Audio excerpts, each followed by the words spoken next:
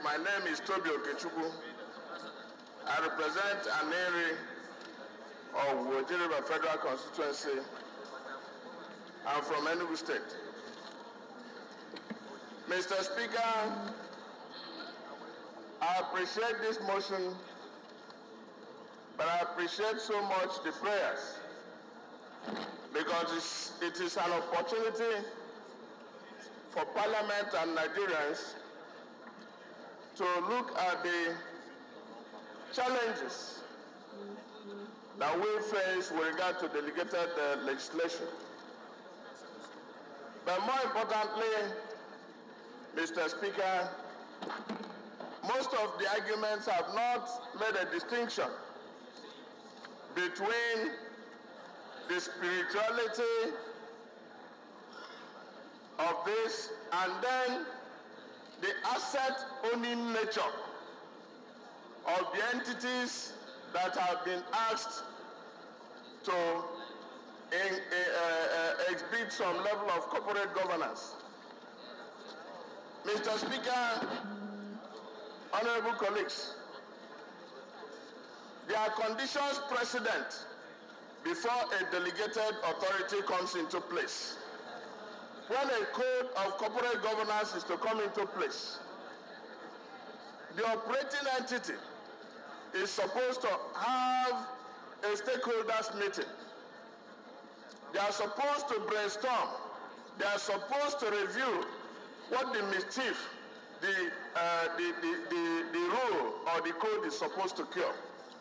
In this instance, the, the Financial Reporting Council did they hold any meetings, any public hearing with regard to this, the, uh, this uh, rule or code. If they did, what were the things that were canvassed?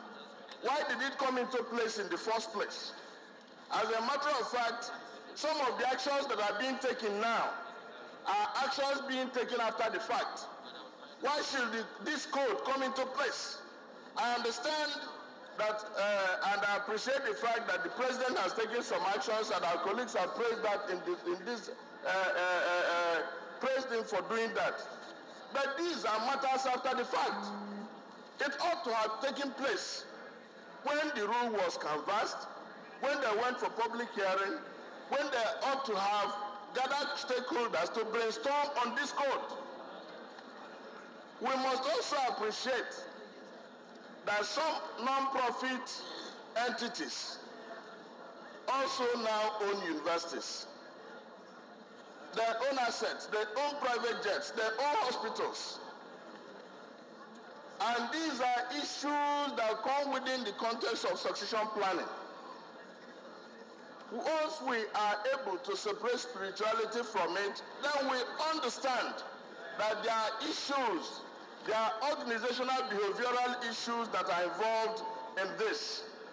That is why I subscribe to the prayers that have been canvassed by this uh, motion that we need to have a public hearing.